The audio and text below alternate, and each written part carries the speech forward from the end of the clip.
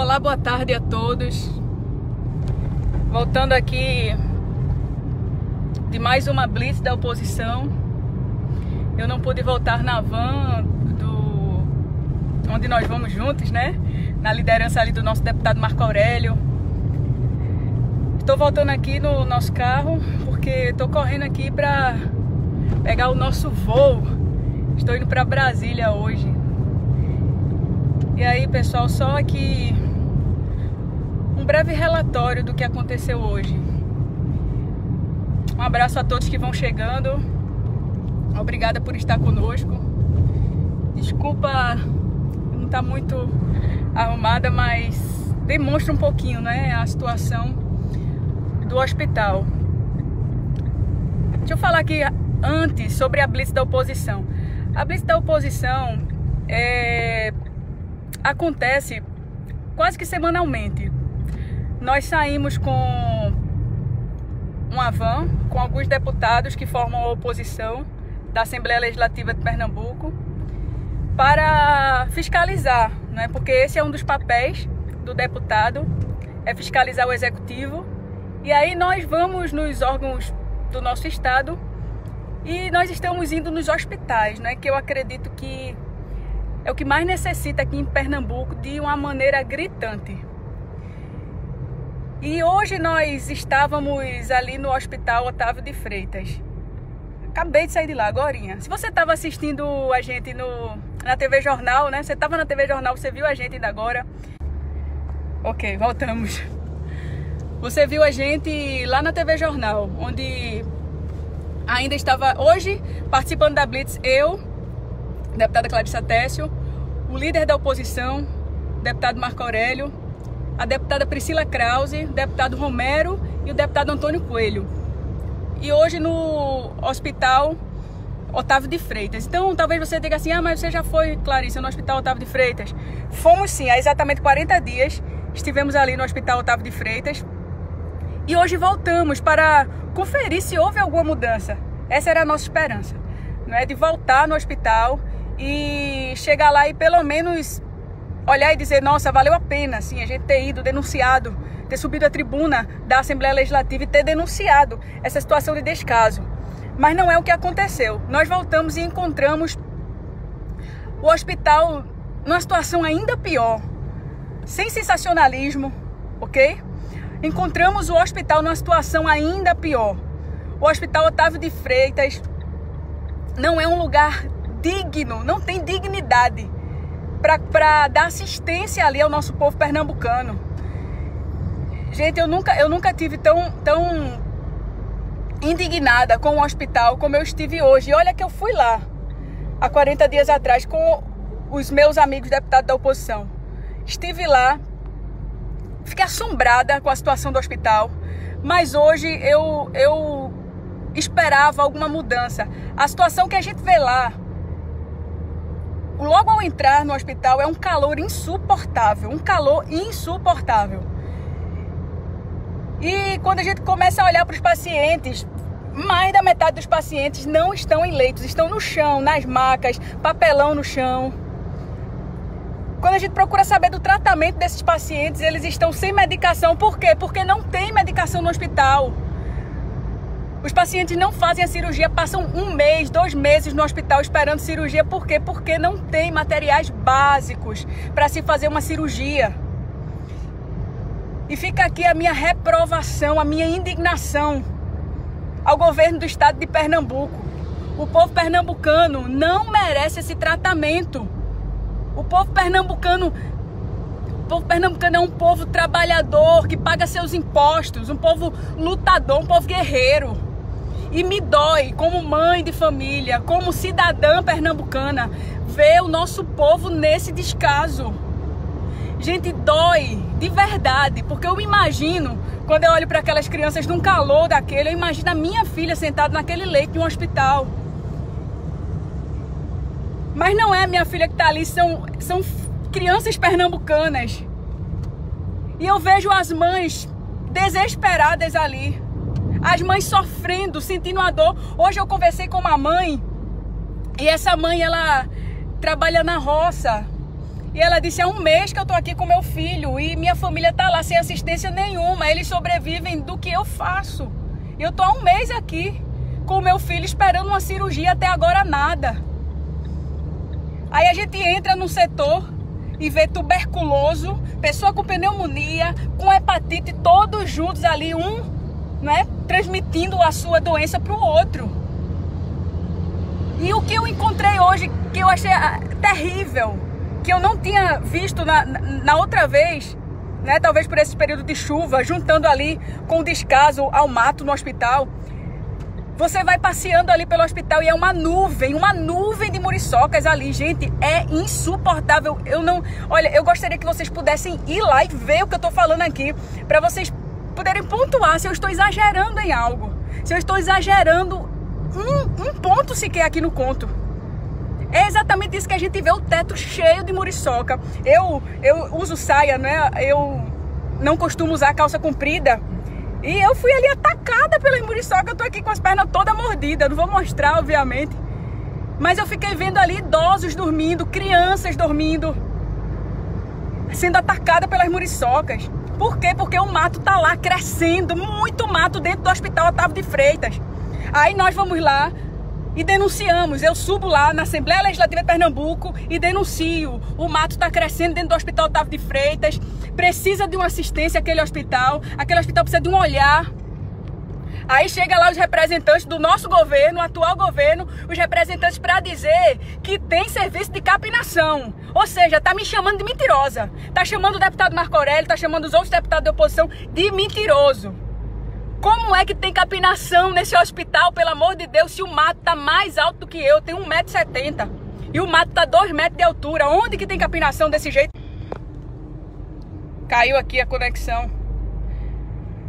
E aí aquele mato ali juntando o esgoto aberto, muriçoca. Gente, não é um ou dois pacientes que falam não, olha, é rato, muriçoca, barata, escorpião, timbu, gato a gente vê a todo instante lá dentro do hospital, transmitindo doenças, mosca, mosca e mosca.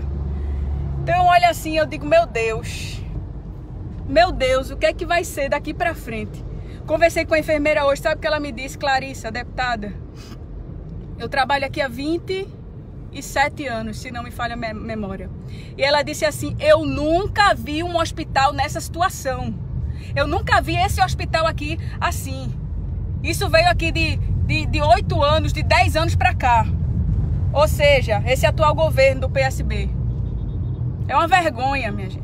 É uma vergonha. Estamos, em, estamos aí em um período que nós não podemos responder nas urnas. Se passou o período. Mas vamos ficar ligados, vamos ficar atentos. Eu também não entendo não, Veridiana, como é que esse governador foi eleito. Eu não sei qual o problema desse governo atual. Gostaria muito, gostaria muito que de saber o que é que acontece. Mas nós vemos aí um secretário de saúde que não nos dá um retorno. Nós fazemos as nossas denúncias e não temos retorno quanto às denúncias. O nosso governador muito menos. As respostas são sempre as mesmas. Que resposta? Você precisa assistir um dia uma sessão na Assembleia Legislativa de Pernambuco para você ver que eu não estou brincando.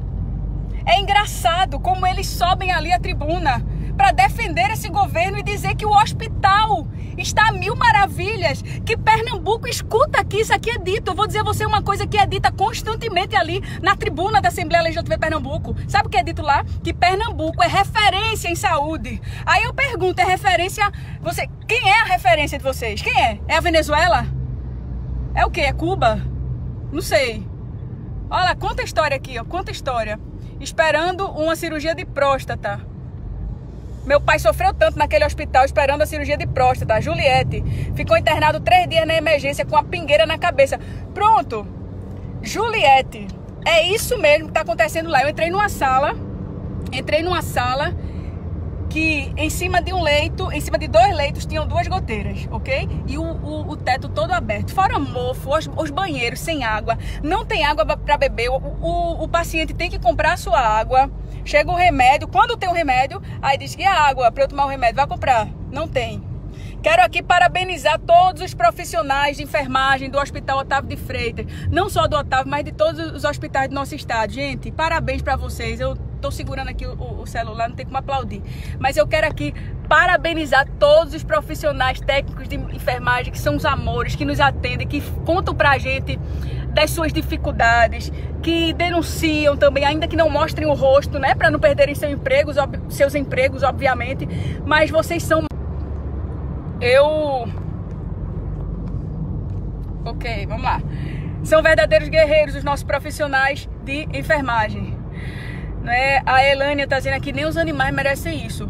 Elânia, foi exatamente isso que eu senti, sabe? Um dia desses eu precisei levar meu cachorro no veterinário. Deixa eu abrir aqui meu coração para vocês. Mas meu cachorro foi tão bem tratado no veterinário. Eu tenho eu tenho uma bulldogzinha francês, um bulldog francês fêmea. E eu levei no veterinário. E ela foi muito bem tratada. Eu esperei bem pouco. E tava tudo limpinho. O veterinário tava bem cheiroso. E eu disse: "Meu Deus, a gente vê que o nosso povo pernambucano não está sendo tratado nem como animais, estão sendo tratados pior do que os animais. É isso. É isso.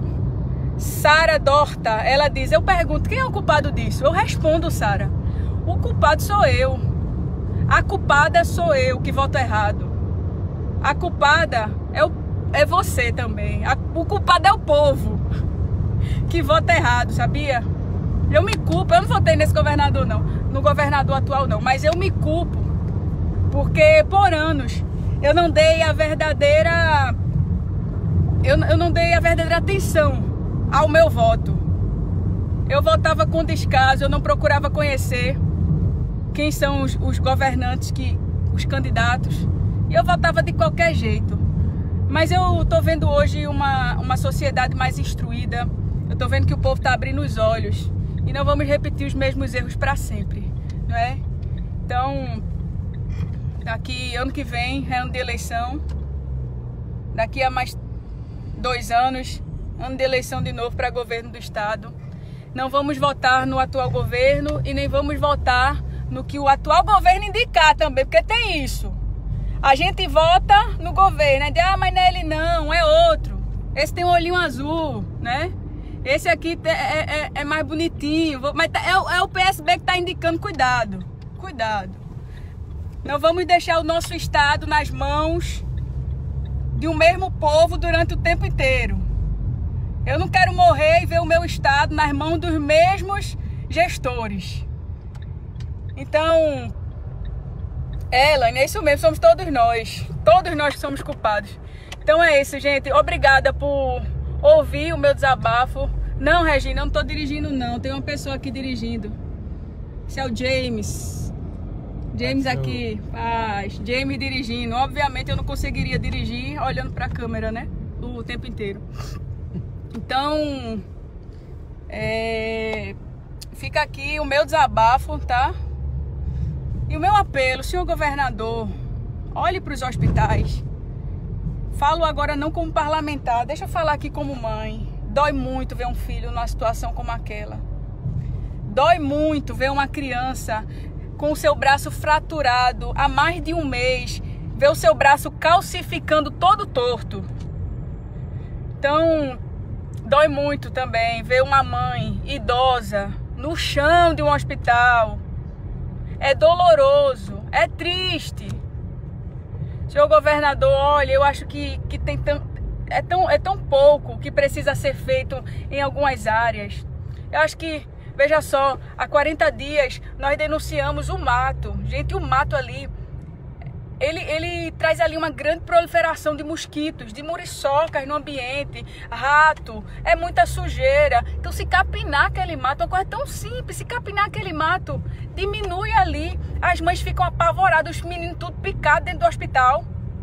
Mas o mato tá lá do mesmo jeito. E tem gente subindo na tribuna da Alep dizendo que tem capinação. Onde que tem serviço de capinação, pelo amor de Deus? Um banheiro não tem água. Cadê a água do Hospital Otávio de Freitas? Pelo amor de Deus, o povo tá sem água. O povo tá sem água dentro do banheiro. Não tem água para dar descarga. Não tem água para tomar banho. O povo tá sem remédio. É muriçoca demais. Então, gente, é isso, tá? Tô aqui para quem tá pensando que eu tô dirigindo, não tô dirigindo. Eu não conseguiria dirigir se segurar o celular aqui. É... Muito bem, então fica aqui o meu desabafo, meu apelo ao governo do estado, ao secretário de saúde. Estamos com a blitz da oposição nos hospitais, vamos chegar em outros órgãos do estado e vamos fiscalizar. Esse é o papel, esse é o grande papel do deputado. Se o, de... Se o seu deputado não fiscaliza, tem alguma coisa errada, viu? Muito feliz em fazer parte da oposição, não é? e estar ali com o meu deputado Marco Aurélio, líder, estar também com minha amiga Priscila Kraus e os demais deputados da oposição. Muito feliz em estar trabalhando para o povo de Pernambuco. Não é? Eu sei que essa me foi uma missão que me foi dada por Deus. O Agamenon, fomos no Agamenon também, Adriana. Fomos lá. Fomos lá no Agamenon. Já fomos na restauração Fomos em muitos hospitais e continuaremos indo. Amém? Obrigada por estar conosco. Já vou me despedindo aqui de vocês, abraçando a todos e pedindo as orações, né? Hoje eu tô indo para Brasília e lá a gente vai fazer uma live, tá bom? Tô indo para Brasília com meu esposo, pastor Júnior Moura, tá me esperando. Só vai dar tempo de tomar banho aqui e correr pro aeroporto. Espera aí, vice Davi. Acelerar, vice Davi. Tá bem, vamos embora. Acelerar pro aeroporto pra não perder o voo. Meu Deus do céu. É porque disseram assim, ó, a TV Jornal tá chegando. A TV Jornal tá chegando, aí eu ajeitei os cabelos assim, não teve muito que ajeitar não. Mas a gente retocou um pouquinho a maquiagem, né, suada. E aí a gente deu uma entrevista lá. Foi bom, né? Mostra que o povo tá aí, ó, ligado. O povo acordou, o povo não aceita mais. Obrigada, Fátima Silva. Beijo, Fátima. Barão de Lucena. Barão de Lucena preci precisa ir. Muito bem. Eu confundo os nomes. Acorda! Maria Venâncio. Eita Deus. Gente, eu tô rindo aqui é porque é característica minha mesmo, tá rindo, viu? Mas motivo para rir eu não tenho não. Né? A gente eu tô fazendo essa live aqui porque a gente tá bem conformado mesmo com a situação. E eu quis transmitir isso para vocês. Dessa maneira, né, que eu tenho é, de alcançar vocês, meus eleitores, vocês que nos acompanham. Me ajudem em oração, tá bom? Para que a gente continue cumprindo essa missão que Deus nos deu eu só tenho pedido uma coisa a Deus, que eu não venha desagradá-lo com as minhas atitudes. É o que eu tenho pedido a Deus continuamente nesses últimos dias, que eu não venha colocar meus interesses acima dos interesses de Deus e acima dos interesses do povo. Que eu não venha colocar minha vontade acima das, da vontade de Deus e da vontade do povo. Né? Eu tenho eu tenho orado e pedido a Deus força e sabedoria, assim como Salomão. Salomão pediu força a Deus para poder gerir aquele povo né, para poder ser um excelente gestor. Ele pediu sabedoria a Deus e é o que eu tenho pedido a Deus. E eu peço a você que votou em mim que continue orando. Você votou, mas a sua missão continua comigo, tá? Nós continuamos juntos nessa luta. E eu quero agradecer a todos os eleitores que estão aqui. Cíntia Tomé. Ô, oh, Cíntia, muito obrigada, meu amor. Maria Borges, alô Maria, Fátima Maria. Vem aqui em Paudalho. Vamos lá, Marisa. A gente vai em Paudalho sim, viu? A gente vai pro interior. Eu acredito que estaremos chegando aí em Limoeiro, viu? Limoeiro, muitas denúncias aí quanto ao Hospital Regional de Limoeiro. Eu acredito que muito em breve vamos chegar aí. Ah, eu nem falei aqui nessa live, é porque é tanta coisa, minha gente, tanta coisa. Mas eu não falei sobre as ambulâncias. Tem um, um local lá, um, um galpão é, da Secretaria de Saúde que está lá desde 2005, de acordo com a denúncia da minha amiga Priscila Kraus, deputada. Desde 2005 foi denunciada, 2015, me perdoem, 2015. 28 ambulâncias paradas ali, empoeiradas, já estamos em 2019, não é? Então, o que é que tem mais lá? Ar-condicionado, tem televisão, tem aparelhos de ultrassom, tem muita coisa, muita coisa lá parada. A gente olha, meu Deus, quanta gente precisando, né, de, de um atendimento de uma urgência e ambulâncias ali paradas, empoeiradas. Um retrato do descaso do governo do estado com o povo de Pernambuco. Mas é isso aí, o povo pernambucano está acordando e eu creio que nós vamos vencer, amém? Gente, já tô chegando em casa, tá? Tô chegando aqui, vou me arrumar e pegar meu voo. Obrigada, que Deus abençoe a todos. Deixar aqui uma palavra para a meditação de todos os que nos assistem agora. Uma palavra da parte de Deus, palavra que eu amo, está lá em 1 Pedro, no capítulo 5, versículo 7. Diz assim a palavra do Senhor, lançando sobre ele toda a vossa ansiedade, porque o Senhor tem cuidado de vós. Amém? Esse versículo diz assim: fica tranquilo, joga, lança sobre o Senhor essa ansiedade aí do teu coração, essa tua inquietação, porque Deus tem cuidado de você. Amém? Davi quer deixar um versículo, é? Davi quer deixar um versículo aqui, vai, Davi. Amém. Para a meditação de todos. Mas olha para frente, Davi, tu tá dirigindo, daqui a pouco eu vou falar de mim. Isaías 40, o 4 e o 5 diz assim: Todo vale será exaltado, todo monte e todo outeiro serão abatidos. O que está torcido se endireitará, e o que é áspero se aplanará. E a glória do Senhor se manifestará, e toda a carne juntamente verá que foi a boca do Senhor que disse isso. Deus abençoe. Rapaz, recebe aí, viu? Tem endereço aí essa palavra. Obrigada, pessoal. Deus abençoe a todos. Amo vocês.